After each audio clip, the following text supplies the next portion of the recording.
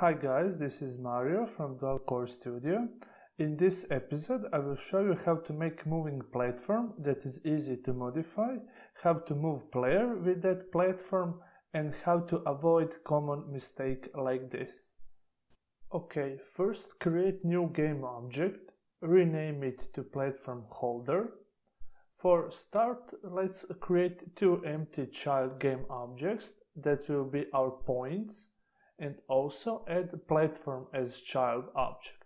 Idea is to move platform between these points. Make sure that value on y for position is 0. Also, make sure that your platform has collider and rigid body. Set body type to kinematic so that external forces won't affect our platform we will have fully control over platform transform from script. Select platform, create new C-sharp script, moving platform and go to Visual Studio. First, we need array of transform points between our platform will move.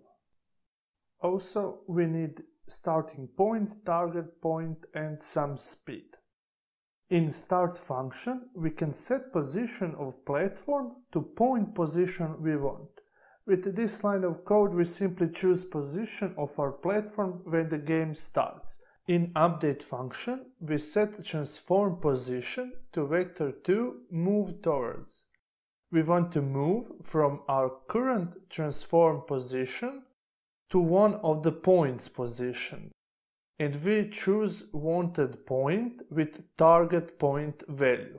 Set speed and multiply that with time delta time. After that, we want to, check if our platform position is equal to the point position. If that is true, our platform needs to go to the next point position. So we increase target point by 1. Next, we check if target point equals to point array length.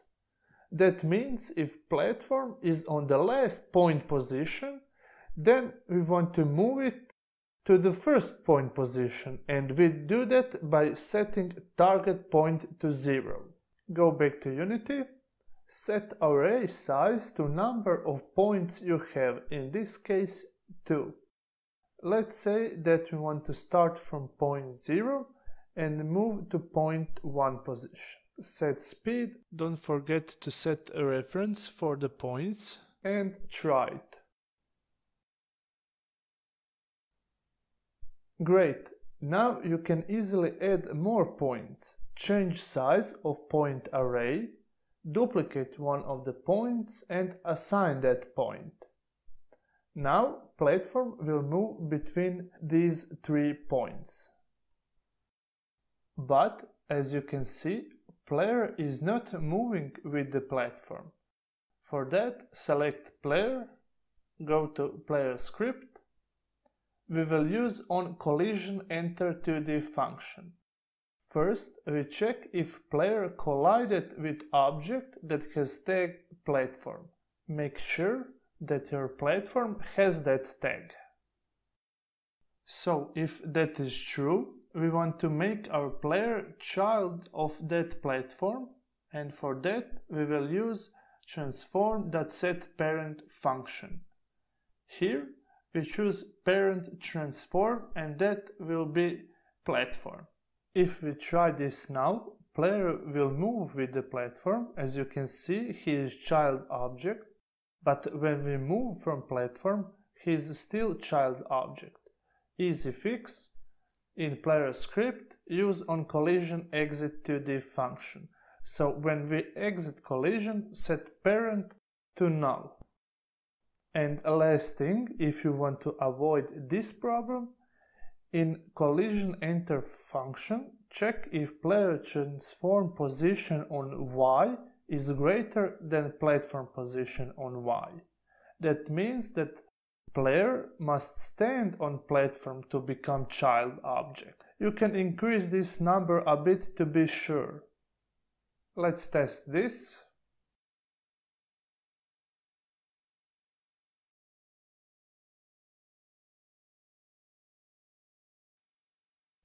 Great.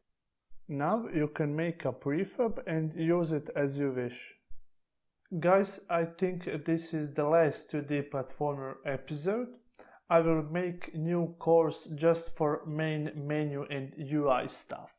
Also, next tutorials will be about new stuff in Unity 5.6, mostly for platformer games, 9 slice and composite collider tutorial. Thank you for your support uh, through this platformer course and see you soon.